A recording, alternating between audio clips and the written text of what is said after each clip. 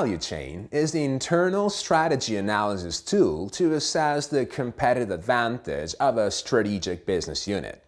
That is, the SBU's ability to obtain higher margins than direct competitors. These higher margins can be achieved by aiming at efficiency, so at cost reduction, or by focusing on effectiveness, that is, the creation of value for the customer. Whenever value for a customer is created, the company's offer is differentiated from the one of competitors and appears as unique, thus escaping a competition based merely on price and the related price wars. To assess a company's value competitive advantage based on effectiveness at the level of single value chain activities, we should follow the same steps described to disclose a cost-based advantage. We start by identifying value-significant activities. We then proceed by evaluating and quantifying value contribution of specific activities considered as significant, and by benchmarking with value created by major competitors in carrying out the same activities. And eventually, we conclude the process by identifying specific value drivers. Within a company's value chain, effectiveness can be driven by value drivers or value differentials residing in both primary and support activities. Value drivers translate into the higher price that customers will be willing to pay due to increased product performances, either tangible, based on real functions, or intangible, linked to the brand-induced perceptions or emotions. These value competitive advantages can depend on key elements of uniqueness in the company.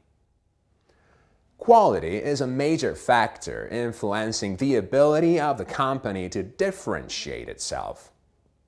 In order to avoid a generic interpretation, we will define quality both as the nominal product performance, that is, the so called compliance quality with project requirements, or in house quality, and the quality of actual performances when the product or service is used on the field and determines a given customer experience, referred to as in-field quality. Time also has an influence on value differentials, both in terms of delivery time, punctuality, and time to market.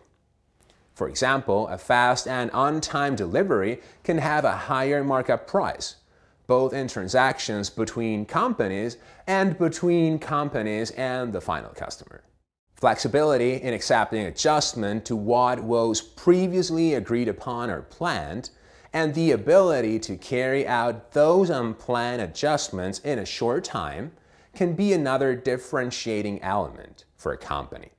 The same is true for the service level associated to the offer considering both services incorporated in a product and services complementary or ancillary to it. Variety and customization of the offer in terms of wide product range and the ability to customize products according to the customer's special needs can have a positive effect on the price charged.